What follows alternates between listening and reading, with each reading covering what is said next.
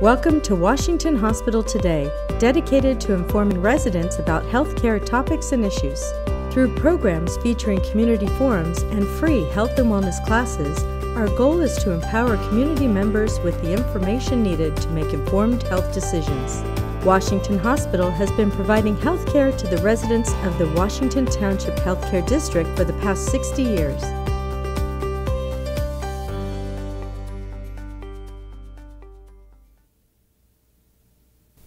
Hello and welcome. Today's presentation, Wound Care, the latest treatment options, is presented by Dr. Prasad Kilaru, the Medical Director of the Washington Center for Wound Healing and Hyperbaric Medicine. Without further ado, please welcome Dr. Prasad Kilaru. Hi, thank you all for joining the live stream. Uh, I also want to thank uh, Washington Hospital for setting up this opportunity. So just a little background, I'm uh, Prasad Kilaru. I'm one of the plastic surgeons here at Washington Hospital in Fremont.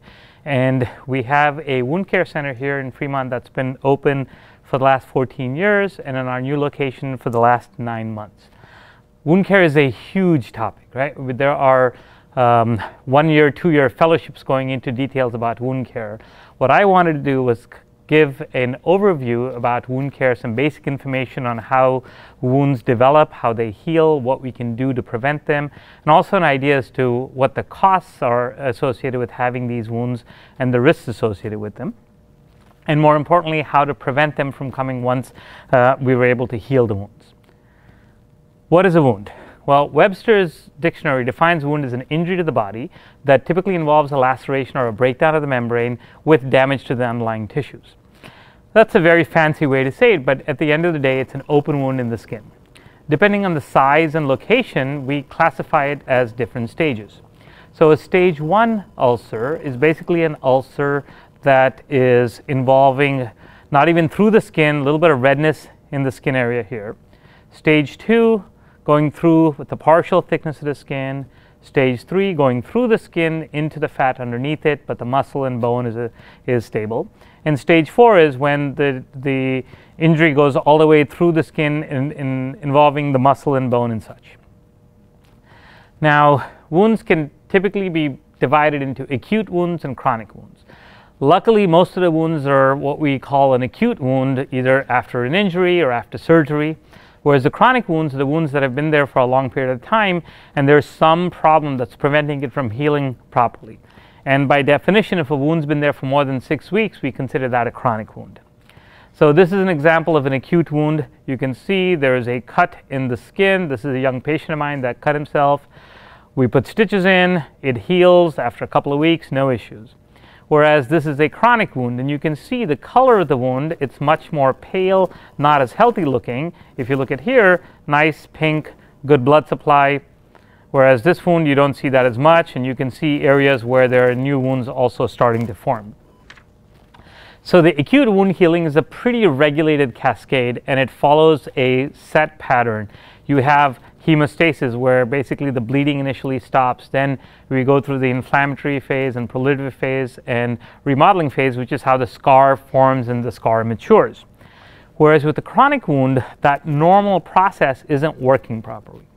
For most of these wounds, there is a balance between the wound healing and the collagen forming and the wound breaking down. And if that balance is not working properly, then you have problem wounds. So if there's too much wound breakdown, you get a chronic wound. If there's too much scar buildup, then you get a hypertrophy or keloid scar. So they're both the two ends of the same spectrum as far as the wound healing process goes.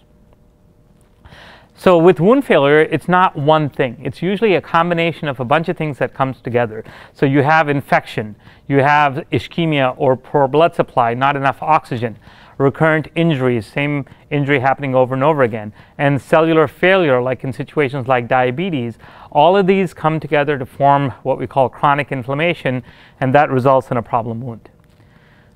There are lots of kind of lots of different types of problem wounds, right? The three common ones are associated with pressure: bed sores or pressure ulcers, venous ulcers, and diabetic ulcers. So pressure ulcers or bed sores are very common in older debilitated patients. We see them anywhere from 2 to 10% of patients that are in the hospital and up to a quarter of the patients that are in long-term facilities like nursing homes can develop bed sores. And they can be expensive. A single bed sore can add up to $20,000 to a hospital stay because of prolonged stay or additional treatment that's required. Venous ulcers are usually ulcers that develop on the legs. They're related to poor circulation. And unfortunately, they have a very high recurrence rate. So even if we treat them, they tend to come back very frequently. And I'll go into more detail about each of these in a little bit. Now, diabetes is the biggest culprit. And if there's nothing else you take away from this lecture, just remember diabetes bad. And if you can fix it, that's the best thing that you can do. So, about 2 million new cases are seen in the US every year. And we have almost 27 million people, about 8% of the population, that are diabetic. The majority are diagnosed, but there's also a significant chunk, as you can see, about 8 million people that are undiagnosed. And given our obesity epidemic, there's another huge population that are pre diabetic and unfortunately, as we all know, African Americans, Hispanics, Latinos, Native Americans have a higher incidence of developing diabetes. There's also a huge cost associated with diabetes. The direct cost is almost $100 billion. Majority of that is in, in care of diabetes or its complications, but there's also a significant amount in that diabetics have a higher likelihood of developing strokes, heart attacks, vascular problems, all these other things, and all those costs also add up. Now, as I mentioned, almost 19 million people are known diabetic, and about 15% of them will develop an ulcer on their leg during their lifetime. And the majority of those can potentially progress to worsening conditions.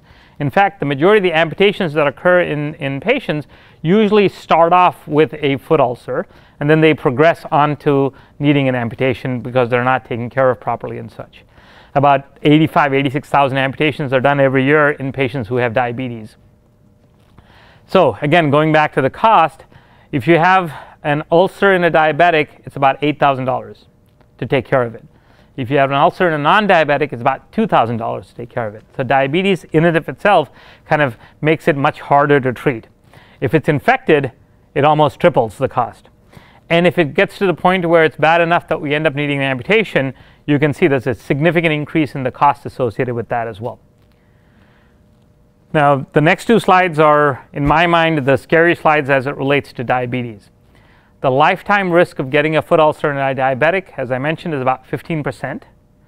But if you get to the point where you need an amputation, it very negatively affects your survival rate.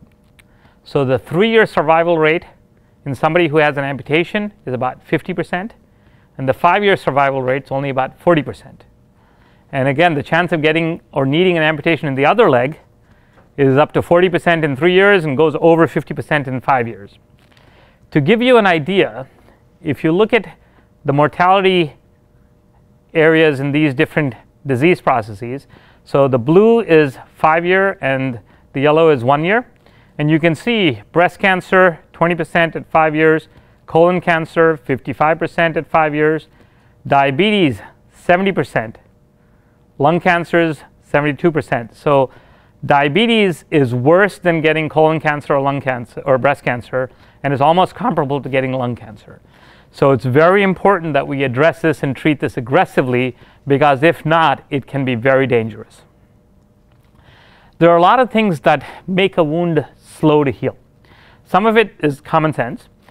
Main one is nutrition. If you're not having enough protein or calories, you know, I tell my patients if there's not enough gas in the car, it's not going to go anywhere.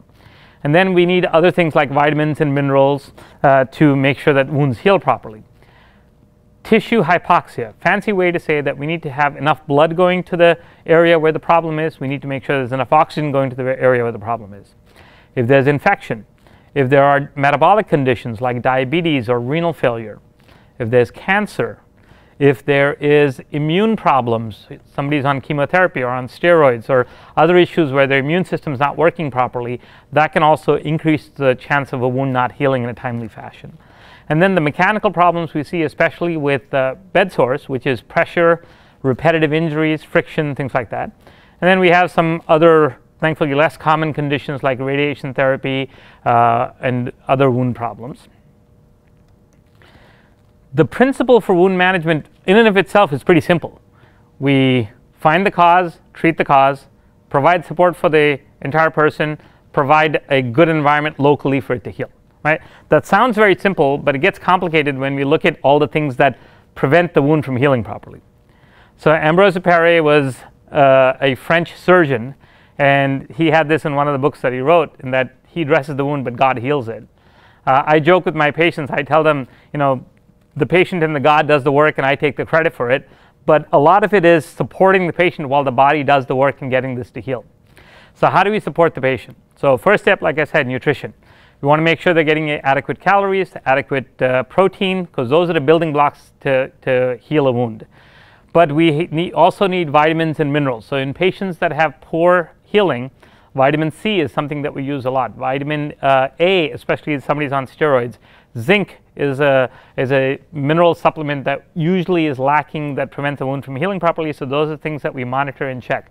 We check their nutrition status, what their protein levels are, what their blood count levels are, and if need be, we supplement it, whether it's with oral supplements like Ensure, or sometimes even giving them something through the IV or through a feeding tube or whatnot to kind of improve their circulation, uh, improve their nutrition. The second big thing is we want to control the infection. A lot of these wounds, when they've been around for a while, they develop a chronic infection or what we call colonization.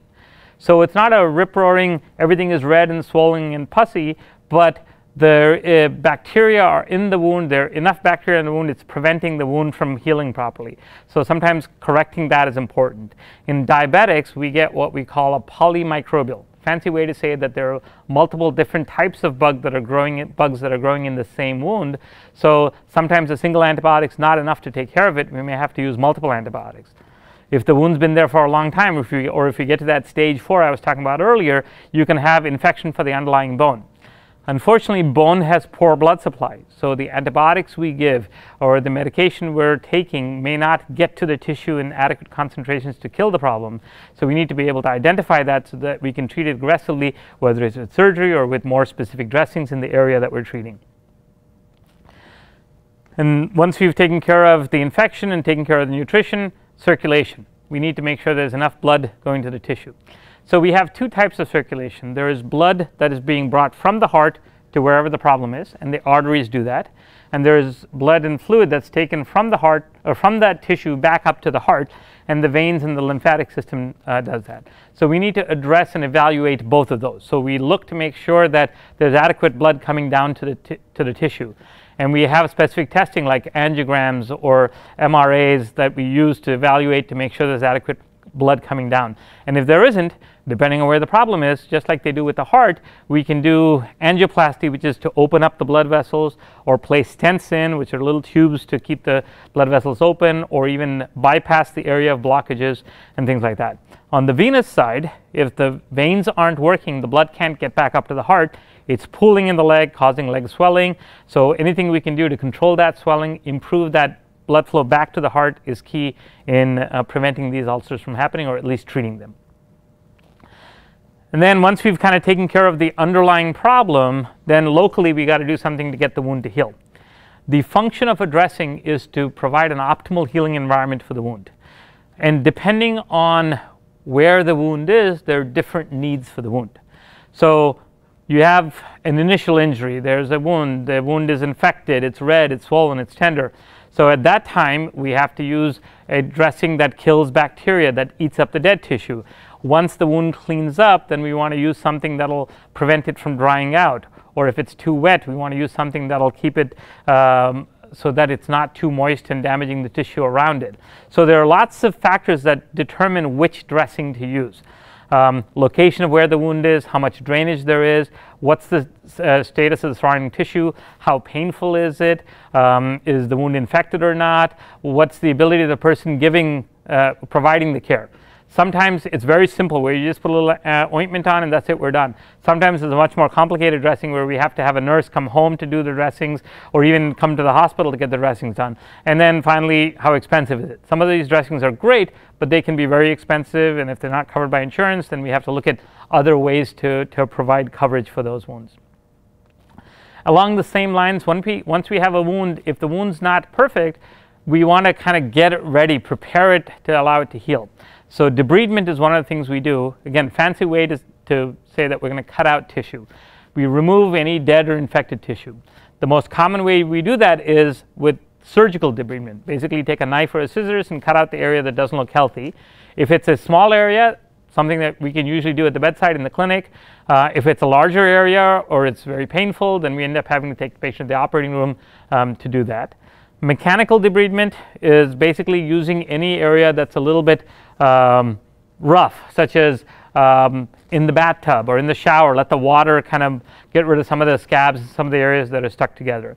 Um, enzymatic debridement is again one of the dressings that we use. It's a certain type of ointment which has an enzyme in it which breaks down collagen or breaks down dead tissue so that it's a little bit slower but it's less painful, less invasive than, than some of these other measures that we were talking about. And then finally, once the wound is clean and healthy, one option we have, especially for some of the chronic wounds, is to surgically close the wound. Unfortunately, not all wounds are um, appropriate to close. Sometimes we have to let them heal by themselves, but if they're appropriate to close, there are different ways in which we can close them. Uh, we can do a skin graft, the wound superficial. If it's a deeper wound, we can do more extensive surgeries. And as I mentioned earlier, if the circulation is not adequate, there's reconstructive surgeries that we can do to improve the circulation.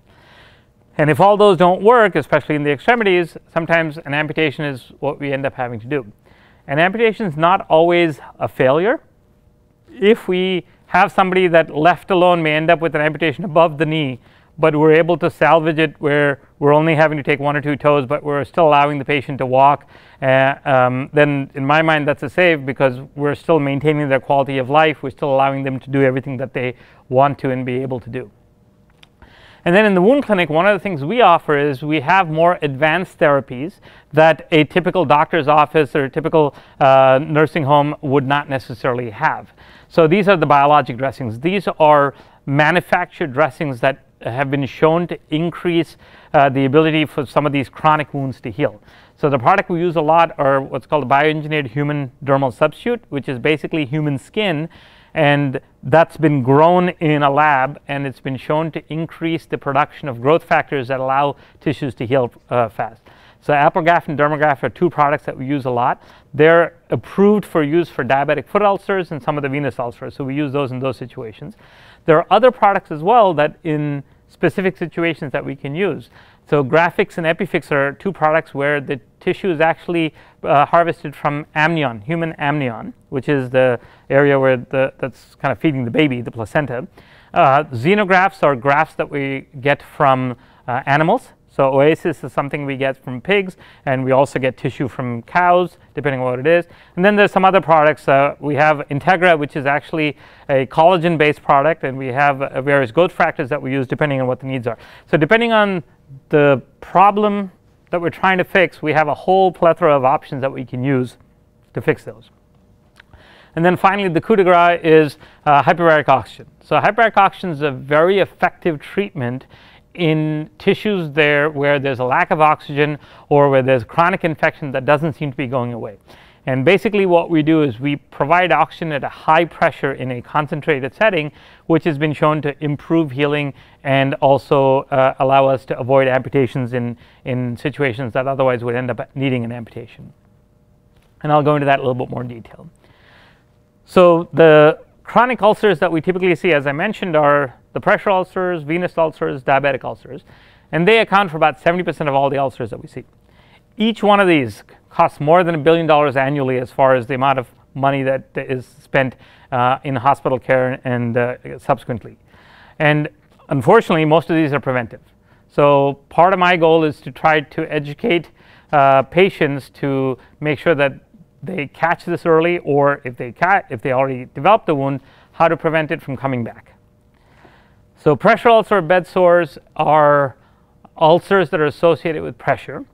Um, basically, there are uh, multiple areas of pressure where the bone is pushing up against the skin, and if you're laying on a hard surface, um, the pressure develops between the bone and uh, the, the hard surface, and the skin and or muscle in between it uh, gets compressed.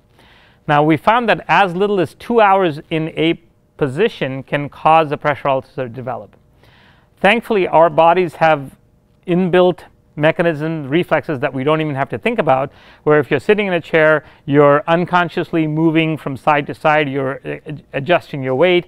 If you are sleeping, you're rolling, moving from side to side, adjusting your weight, so you're not putting pressure in any one area for a prolonged period of time. But we have patients that are paraplegic where their reflex, their sensation is not there, so the reflex isn't being activated.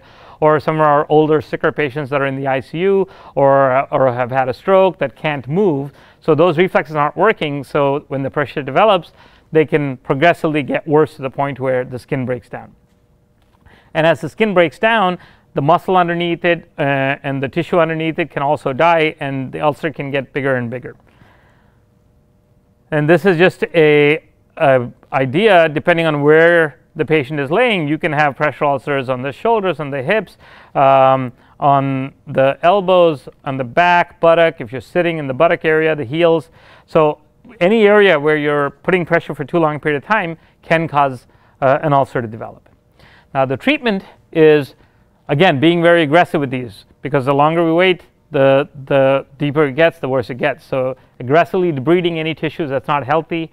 If, especially in the paraplegics, they can have muscle spasm. So that friction that I had talked about earlier and the repetitive injury can be a problem. So controlling the muscle spasm, controlling the infection, cleaning up the wounds and trying to close them as, as quickly as possible is always the first choice.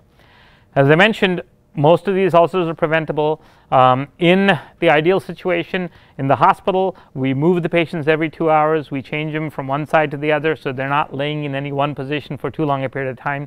That's not always feasible. Um, one of the other big things that happens is, unfortunately, a lot of these patients, because of the paraplegia whatnot, may also be incontinent. So if they're laying in their urine or laying in their stool, if they have problems with skin hygiene, and usually they're not eating well, so the nutrition's poor. So you have this conglomeration of all of these things that kind of come together and create a perfect storm. So we want to try to address each and all, uh, all of those areas to make sure their hygiene's good, their nutrition's good, that we're you know changing their diaper or whatnot on a regular basis, so you're not having soilage and things. So if we're able to do all that, then it's less likely for the pressure ulcer to come back. But if you're not able to do that, then there's a high chance that the ulcer can come back. Venous ulcerations, as I mentioned again, are a large part of what we see. Very high recurrence rate because the problem is blood's coming down to the foot, okay, but the blood's not being taken back up from the foot back to the heart. So the blood pools in the leg, foot swells up. When the foot swells up, the distance that the blood has to travel from the blood vessel to the skin gets larger, and so there's not as, not as much blood gets to the very ends, and that part breaks down. That's kind of a simple way to explain how the ulcer forms. So by putting compression, squeezing all that blood out, we get it to heal. But if we don't treat the underlying swelling, the infection and the breakdown comes back again. So I tell my patients it's very key, very important that they wear compression stockings, try to keep their leg elevated, do anything and everything that they can to prevent this from coming back. And unfortunately, this is something they have to do for the rest of their life. Right? There's not a, okay, I do it for three months or six months and it goes away. No, it's something you got to do for the rest of your life. Diabetic ulcers, again, as I mentioned, are the biggest culprits because those are the ones that tend to um, get worse much quicker than the venous and pressure ulcers do. The venous and pressure ulcers tend to kind of stay where they are, whereas the diabetic ulcers tend to progress much more rapidly. And again, unfortunately, a lot of these patients who have venous ulcers are overweight, so they have associated diabetes, or they're, you know, they have multiple comorbidities. They're never in silos. They, they kind of happen all together. Um, chronic foot ulcers, leading cause of amputation in diabetic patients. Um, there's a triad, or you know, a combination of three things: poor blood flow, poor sensation, and infection. So diabetics, because of the neuropathy, a lot of them don't have sensation. So I have seen patients in the wound clinic, they come in, they take their shoe off, and there is an insulin needle stuck in their foot, and they have not felt it. Or they take their shoe off, and there is a, you know, a marble-sized rock in their shoe that they hadn't paid attention for, and they've been walking on it for the whole day. And next thing you know, that's enough to break down the skin. And they have a shoe with the sock on, all kinds of bugs in it. That open wound now gets infected. So it's very quick for these things to progress. There are a bunch of other factors that are unique to diabetics. You have diabetics have a higher tendency to develop collapse of the arch. So if you look at the foot, there's an arch to the foot, and that arch tends to collapse over time. So when, when we talk about flat feet, that's the arch collapsing, much more common in diabetics. And when that happens, you have areas that aren't normally used to seeing pressure, seeing pressure, and that causes those areas to break down. And if you have poor blood sugar control, that increases the likelihood of infection. It increases the likelihood that the arch collapse and all these, the neuropathy and all these other things happen as well. So again, this is an example, that earlier picture that I showed you. This wound, you can see this is not the typical wound. The edges are very calloused. This is not a typical location where we see pressure, but because there's collapse, you're seeing pressure in this area as well. So how do we treat this? Again, this is a recurring theme. You want to be very aggressive with the treatment when we see an ulcer. Going and cutting out all of the tissue that's not healthy, getting down to healthy tissue, controlling infection, um, if need be closing the wound. So the, diabetic ulcers are some of the ones where you use the advanced skin therapies much more frequently, the Apligraf, the Dermagraft, the hyperbaric oxygen treatment, things like that. Part of what we do is also offloading, making sure that there's no pressure where there shouldn't be. Having a good podiatrist makes a huge difference because you want to make sure that when you're walking, you're putting pressure on the foot where it's supposed to be. And if you don't have the proper shoes or the foot's not working properly, then you can make shoes or podiatrists can make shoes that will allow for that pressure to be distributed to where it's supposed to be um, so that we're not having uh, areas that aren't used to seeing pressure developing pressure and then developing uh, an ulcer with them. So with the diabetics, we always have a multidisciplinary approach. Every diabetic foot ulcer, we make sure a podiatrist sees them, make sure a vascular surgeon sees them to make sure that their circulation is okay, make sure that they have the proper footwear and such, because it's no use to heal a wound if we don't take care of the underlying problem because they'll be back within two months or six months with the same problem. So as I mentioned, we want to make sure that their circulation is good. We always have them see a vascular surgeon. We want, want to make sure that they have good foot care. So if they have fungal infections in their feet, if they have uh, poor nails, if they have poor shoes that don't work, either too tight or too loose, those all can be problems. Um, and we also want to make sure their blood sugar is uh, well controlled. There are lots of studies that have shown that if your sugars are fluctuating quite a bit or if they're consistently high, then you're at a much higher risk for developing uh, retinopathy, neuropathy, all of these other problems, and also increased risk for uh, immune problems where your white blood cells, which normally fight infection, don't work as well. Right? So it, it sounds simple, but we want to make sure that your sugars are controlled and that they're stable, consistent, so you're not seeing the fluctuations that you might otherwise see. Going back to what I mentioned earlier, hyperbaric oxygen treatment is one of our go-tos for some of the more complicated wounds. Basically what we do is we take a patient, we put them in a chamber that's at a higher oxygen pressure. So we'll go back to a little bit of physics, high school physics. Uh, at room air at sea level, uh, the pressure that we're feeling normally is about one atmosphere or 760 millimeters mercury. Um, room air has about 20% oxygen and about 78, 80% nitrogen. What we do with hyperbaric oxygen is we take the patient, we put them in a chamber, and we double the pressure. So we go up to two atmospheres, and we give 100% oxygen as opposed to 20% oxygen. So you're getting five times the oxygen at twice the pressure. So technically you're getting 10 times the oxygen. So you have 10 times the oxygen dissolved in the blood and that increased pressure pushes that uh, oxygen out. If you remember I told you before you have the blood vessel here and as the leg swells the distance it has to travel is greater but with the increased pressure the oxygen can go that extra distance also. So it's been shown to help heal those um, difficult wounds. And what we've shown is that with the hyperbaric oxygen treatment you increase blood flow to tissue. It actually creates new blood vessels in areas where there isn't new blood vessels. It increases the collagen formation. For some of these chronic infections, as I mentioned earlier, the bone does not have good blood supply. So by using hyperbaric oxygen treatment, we can treat bone infections by increasing the amount of oxygen going there. That oxygen by itself kills the bacteria, but also improves the blood flow to the area where the blood supply is poor. So this is the chamber. This is what's called a single chamber. Um, so one person goes into the chamber. We have actually a TV with a DVD player so they can watch movies and what have you. Uh, each treatment is about 90 minutes. Um, and we use diving terminology. So if you think about when you go diving underwater, as you go deeper underwater, the water pressure kind of builds up and puts pressure on the body. So when we go to two atmospheres pressure, that's similar to diving to about 33 feet underwater. So we use the dive terminology. So we, it takes about 10 to 15 minutes to dive to the depth, which is the two atmospheres pressure. Treatment's typically about 90 minutes, and then it takes another five minutes to kind of come back up. So it's about a two-hour treatment. Um, we do this every day, five days a week, and we do that uh, for anywhere from 30 to 40 treatments, depending on the um, disease process that we're trying to treat. So for infections, uh, ulcers, diabetic ulcers, typically it's about 30 to 40 treatments.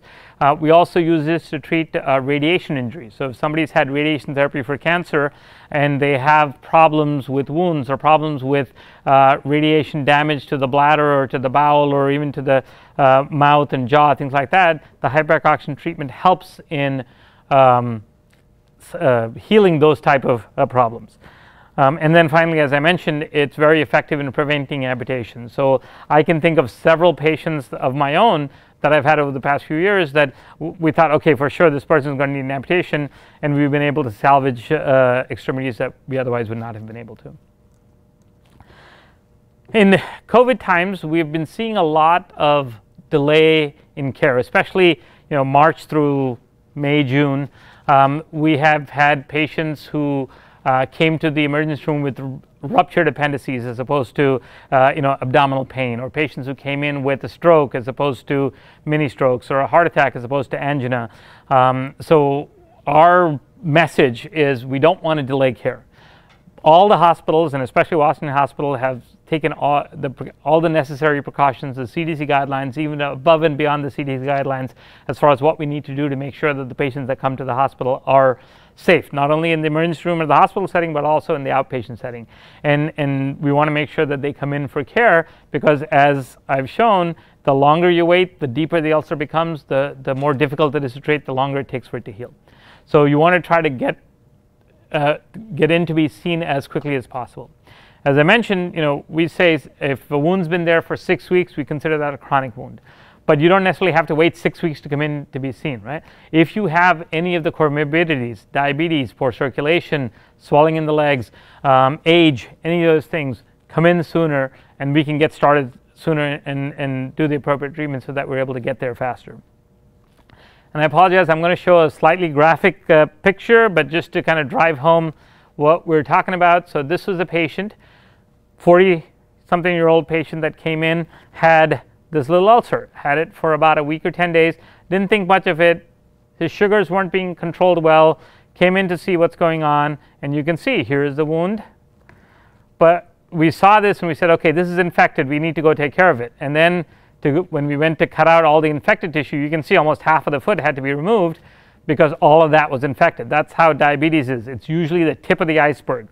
So we aggressively went and cut all of that tissue out. Then we did dressing changes, local care, you can see the pink is good, more healthy tissue coming up. And then we eventually went to do a skin graft, took skin from his thigh and used that to kind of cover up the area.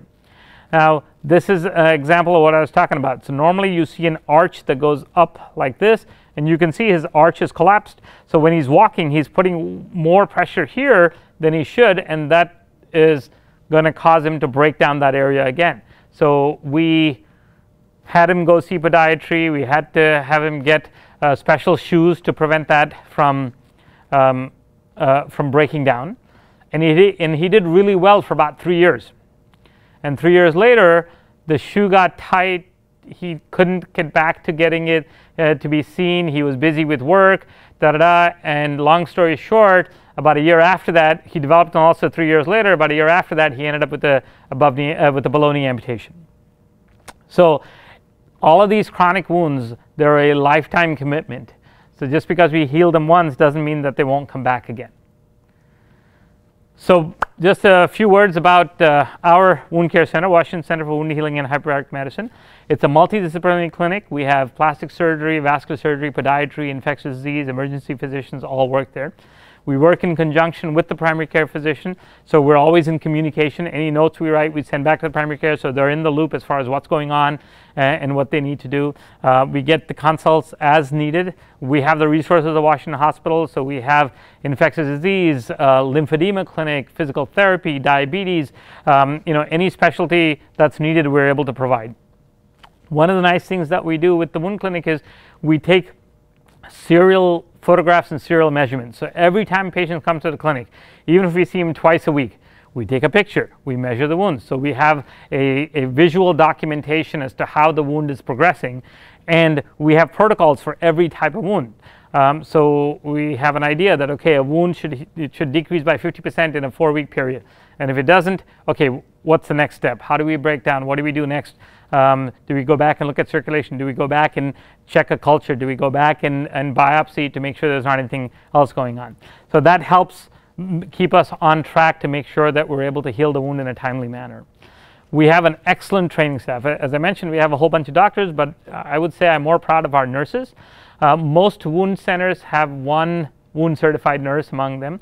We have six, and I would have any one of them treat me on any given day. They're very dedicated, and they're the ones that, that do the yeoman's work, right? We come in, say hello, hi, uh, but they're the ones who take the dressings down, put the dressings back on, and, and, make sure that the care is being provided. They're the ones that teach the patients, teach the family how to do the care. So we have an amazing team that does that. And as I mentioned, we have Washington Hospital and all the resources of Washington Hospital behind us as well, which, which makes our job a lot easier.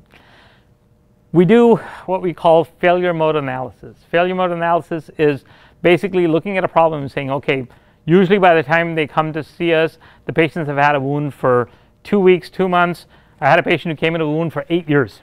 It took us a year to heal the wound, but there's been something that's preventing the wound from healing. So our job is to figure out why is the wound not healing and what can we do to correct it. So first we look back and see what was done so far. So we're not repeating the same mistakes. And we see, okay, where are the holes that weren't filled? And we fill those holes and then progress on. So again, the documentation where we're looking at the wounds, measuring them so we can see, okay, are they getting better? Are they getting worse? What worked? What didn't work? And moving on. Um, evaluating the wounds on a regular basis. So if something's been working for a while, but then it stops, we go back and see, okay, did it get infected now? Did the graft that we opened up get blocked again? So all of these things we keep checking on a regular basis. And at every visit, we're telling our patients, educating them on how to prevent this wound from happening, talking about frequent position changes, talking about leg elevation, compression, diabetes care, all those kind of things. And as I mentioned, we have all of the resources that uh, Washington Hospital brings to bear. So we are able to do uh, what we call total contact cast, which is a special kind of cast that, that helps with offloading. We're able to use a lot of the bioengineered skin substitutes, which are very expensive for a private office or a private practice do, but the hospital is able to provide that, uh, those services. And again, hyperbaric oxygen treatment. We have the reconstructive therapy. We have three vascular surgeons, two plastic surgeons that that are able to help with any reconstruction that's, that's uh, needed. So this is our full-time group of physicians that are on the rotation.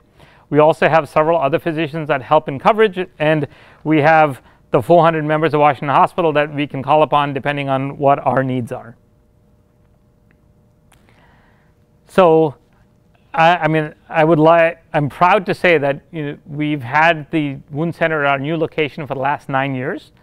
Um, we've partnered with a national organization for a while, and we were beating their benchmarks on a consistent basis. And over the last few years, we've kind of stepped out on our own, and we've done even better as far as benchmarks goes, time to healing, the rate of healing, and such. So in summary, there are multiple causes for chronic wounds multiple treatment options available. Multidisciplinary approach is key, but the key is we need to find out what's causing the wound and address the problem at the source. And once we've addressed the problem, education and prevention are critical because if we don't educate our patients to uh, prevent them from having these wounds again, they will come back. And then finally, I would say don't delay care especially in this day and age where everybody is very concerned about the care and concerned about problems, don't delay care. Speaking for Washington Hospital, we've taken a very early proactive approach.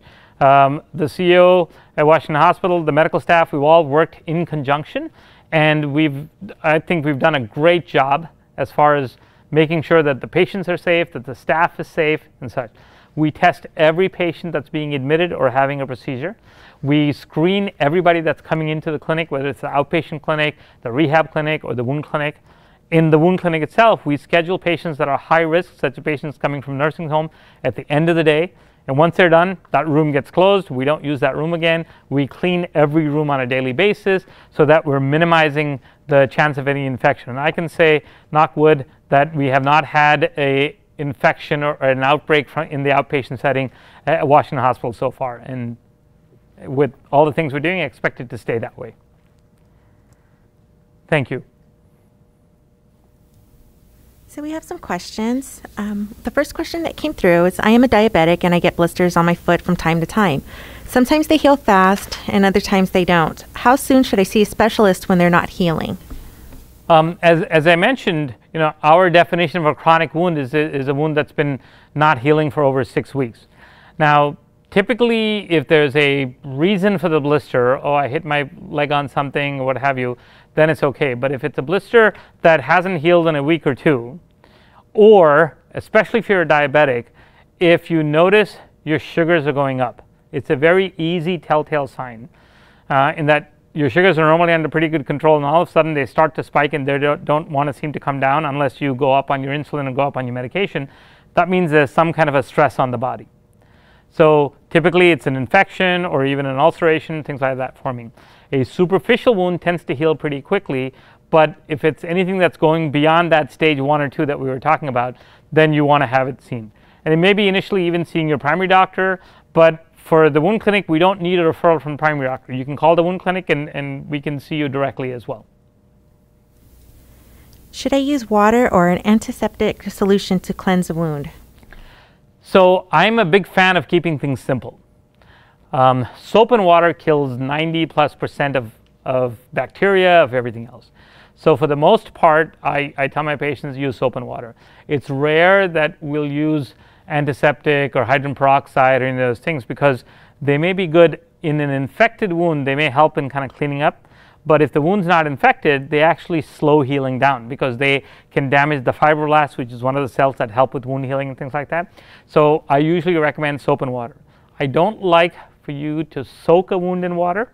Running water is good. A shower, you know, washing your hands, things like that, or washing your feet, all that kind of stuff is okay. Pat it dry, and then depending on which dressing or ointment you're using, that's fine. How effective is vitamin E from preventing a scar? So once a wound is healed, the scar tissue doesn't make oil or sweat like normal skin does. So it tends to dry out much faster than normal skin. When it dries out, it can crack, break open, cause more scarring, things like that. So I tell my patients, you can use anything to keep the scar moist. Not wet, but moist. Um, I personally prefer any kind of lotion that's got vitamin E or aloe in it. Um, once the wound is healed, about a week after the wound is healed, any kind of lotion, a couple of times a day to kind of keep that area moist. Um, I'm usually not a fan of using direct vitamin E. So some patients will take a vitamin E capsule and poke a hole in it and put the, put that in. I'm not a fan of that. About a quarter of the patients can have a reaction to it, so you can get like a rash and an irritation to it. So I'd rather keep something simple. Usually any kind of skin lotion, uh, Vaseline, Nivea, Cetaphil, not the petroleum jelly because the petroleum jelly is occlusive and it doesn't allow the tissue to breathe but the intensive care lotion for the Vaseline or Nivea, Cetaphil, Aveeno, you know, whichever one you have. Um, I usually recommend something that doesn't have perfumes because again, wound is uh, fragile, the skin is fragile, we don't want to do anything that may irritate it, uh, but all of those work fine. In the majority of patients, the $50 scar cream and the $2 um, Cetaphil work uh, pretty much equally. Okay. I have a keloid scar from an old injury. Can it be removed and how do I prevent it from happening again? So a lot of the times what patients consider a keloid is not really a keloid.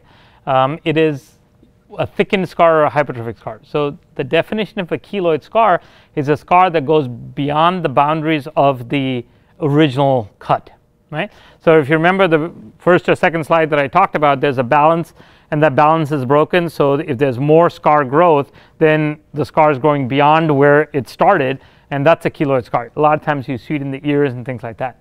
What people have is, okay, I have a cut around my elbow or around the joint, and because I've been moving my joint too much, that scar widens or it gets a little bit thick. And that's called a hypertrophic scar. So part of it is how the scar was closed. So if you close in multiple layers, so you're not putting all of the pressure on one layer, so if it's across a joint or across the area where there's a movement, that scar will tend to widen more often.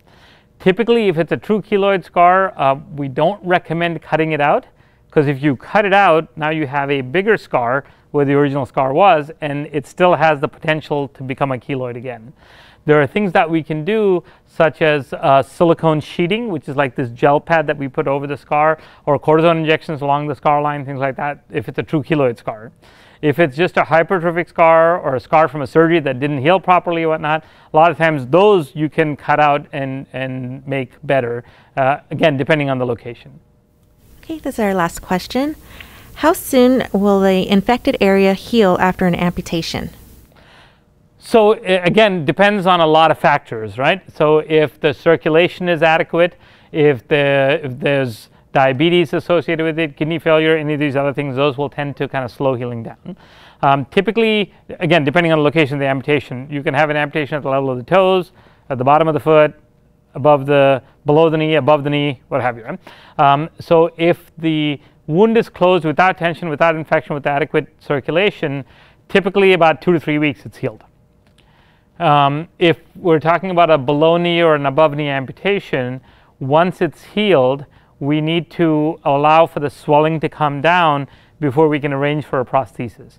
So once the incision is healed, the stitches or staples are removed, we use what's called a stump sock, which is a little sock that puts pressure over that area to kind of squeeze out all of the extra fluid to allow that the, the extra fluid to get rid of, uh, to come out of that area. And once that has healed enough, then we can fit for a, a, a proper uh, prosthesis. Because if you put a prosthesis on when there's still swelling, eventually swelling goes away, then the prosthesis is loose, and, and then we have to start all over again. Well, this concludes our program for this evening. Thank you, Dr. Kilaru, for your expertise. And thank you to our viewers for tuning in. The entire broadcast of today's event will be available on our Facebook page. We look forward to hosting more Facebook Live events in the future.